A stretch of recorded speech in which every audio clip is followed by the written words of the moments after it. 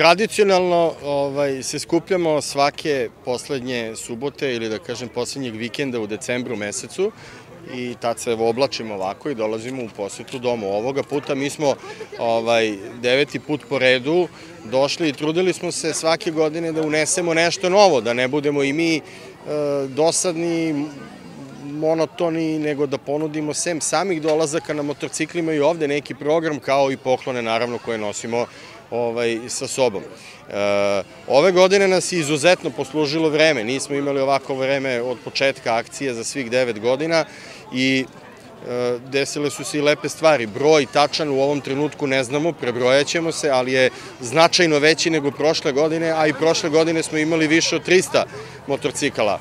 E,